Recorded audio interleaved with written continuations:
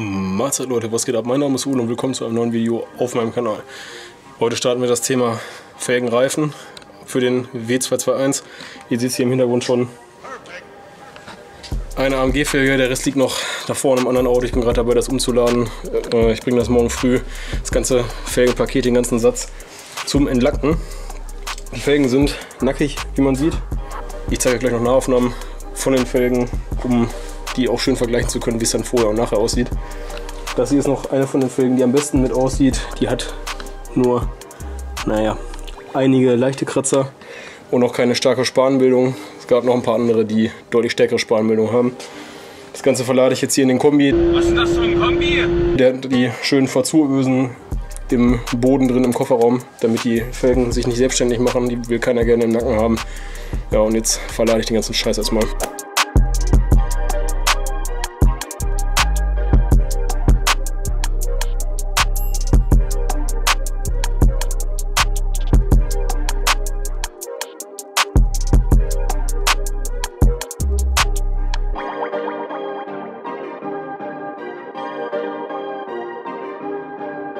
Moin Leute, neuer Tag und Ich habe das Auto voller Teile. danke Tom. In der Tat, ich habe das Auto voller Teile und jetzt fahren wir zum Endlacker. Ciao. So, da sind wir wieder. Eine Woche später. Ich habe gerade die Felgen abgeholt. Hier habe ich mal eine draufgelegt. Der Rest liegt noch im Kombi hinten drin. Die werden nämlich gleich direkt weitergebracht zur weiteren Bearbeitung. Ich zeige euch aber einmal ganz kurz, wie so eine entlackte Felge, also der reine Alu-Guss, aussieht. Also man, man riecht sogar auch noch richtig. Das kann ich jetzt natürlich irgendwie schlecht rüberbringen, aber das riecht so ein ganz bisschen wie in einer größeren Fabrik, wo Apfelsaft oder Orangensaft hergestellt wird, durch die Beize. Das, äh, das riecht man richtig so ein bisschen noch, ähm, dieses äh, Beizmittel, diese Lauge. Aber ich denke mal, was man jetzt vor allen Dingen gut sehen kann, ist hier, wie schlimm eigentlich die Kratzer sind. Also wir haben hier richtig tief, also bestimmt 2 bis 3 Millimeter, richtig mit Gradüberstand. Haben wir hier richtig dicke Macken drin. Hier auch. Es geht also komplett einmal hier dran lang. Auf dem ganzen äh, Felgen-Außenring verteilt. Ja, ich denke mal, das sollte man ganz gut sehen, wie böse das eigentlich aussieht. Dementsprechend äh, wird das jetzt noch metallisch nachbearbeitet. Das heißt, mit einem ja, sparenden Verfahren, also entweder wird das gefräst oder es wird vielleicht äh, geschliffen an den Stellen, wo es geht, damit ja im Prinzip das Felgenmaul oder der, der Felgenrand wieder sauber ist, weil beim Pulvern kann man das eben damit halt nicht verdecken.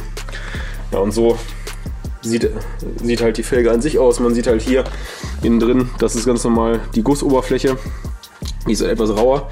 Und dann sieht man hier die geplante und geschliffene Fläche, die, äh, ja, die halt im Werk in der ursprünglichen Felgenproduktion halt da schon gemacht wurde. Kann man ganz gut sehen eigentlich, dass das hier eben einmal nachbearbeitet wurde von Anfang an.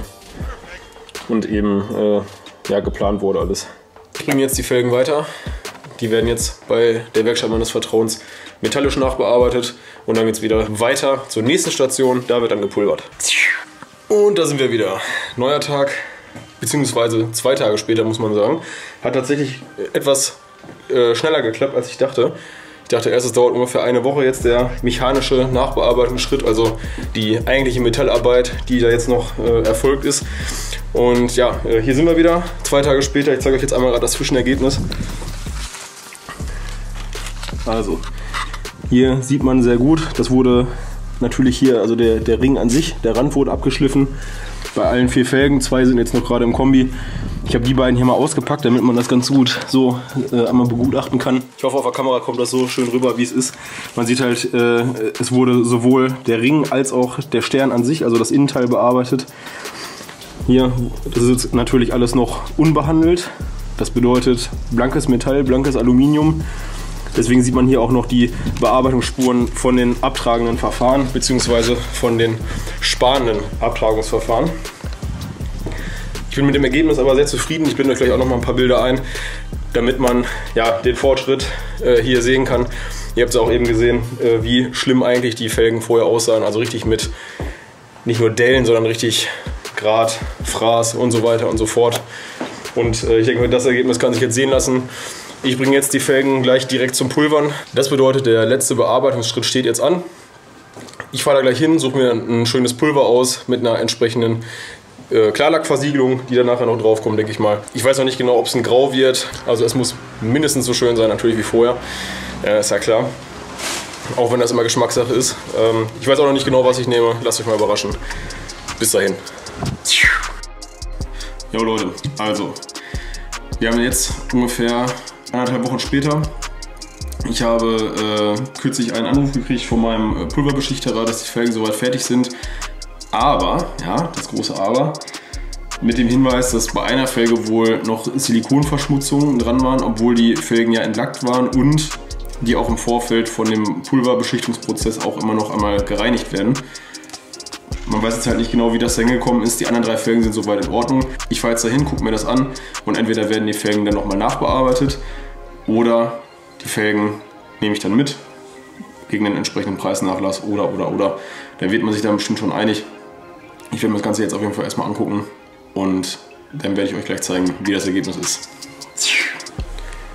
Und wir sind zurück in meiner Garage. Ich habe die Felgen mitgenommen, weil die eine Felge, die den Mangel hat, ich zeige euch den jetzt, war nicht so dramatisch, in meinen Augen zumindest. Also habe ich einen Preisnachlass angenommen und habe das Ganze mitgenommen, damit das Auto dann jetzt auch demnächst mal wieder fahrbereit ist.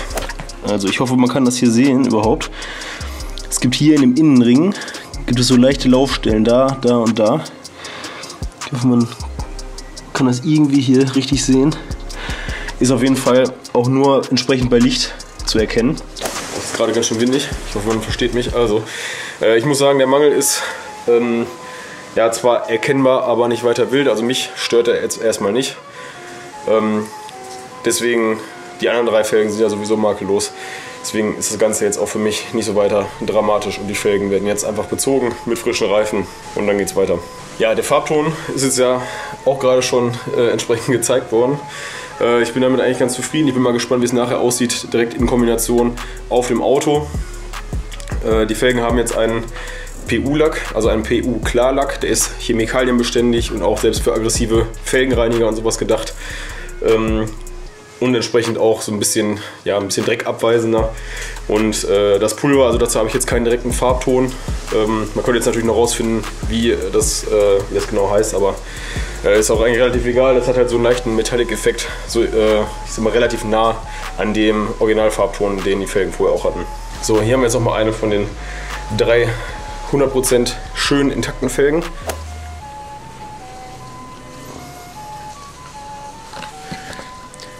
Das sieht schon richtig lecker aus, muss ich sagen. Aber nachher, wenn sie auch im Auto sind, wird es natürlich noch mal um einiges geiler.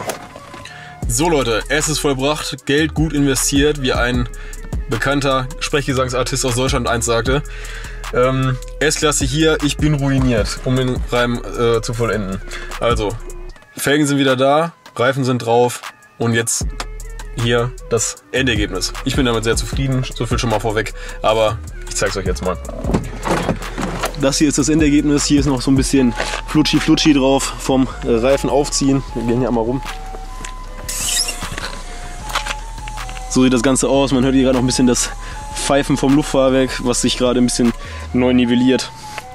Ja, hier sind jetzt Winterreifen drauf, doch keine Ganzjahresreifen, weil es nämlich die Ganzjahresreifen auf der Hinterachse nicht gab. Die Hinterachse bekommt nämlich 275. Vorher waren da fälschlicherweise 255 drauf. Dementsprechend vorne 255, hinten 275. Gab es nur als Winterreifen und deshalb jetzt richtige Winterpelle. Hier, dieser Reifen hier ist drauf, 275, 35, R20, 102W. Das ist ein Hankook ähm, Evo 3, äh, wie man hier unschwer erkennen kann. Wie gesagt, kein Ganzjahresreifen, Winterreifen. Das Einzige, was jetzt hier noch fehlt, sind neue äh, Radschrauben. Die sind nämlich äh, Mercedes typisch gerne am Gammeln, ist auf allen vier Reifen so. Aber jetzt mal abgesehen davon, das hier ist das Endergebnis.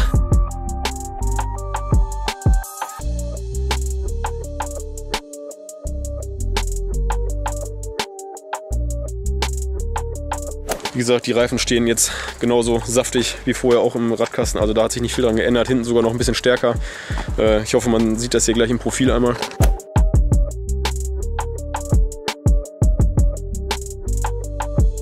Ich denke mal, optisch jetzt abgesehen von den Radschrauben passt das erstmal hier soweit und kann sich so sehen lassen. Das ist jetzt halt ein Vollgrau, nicht geschliffen, die Felgen also nicht nachschleifen lassen, so wie das vorher äh, standardmäßig war äh, bei den AMG-Felgen. Was ich jetzt noch gucken muss, das ist hier. Hier war vorher das AMG-Schild, also das sind so Kunststoffembleme, Kunststoffblenden.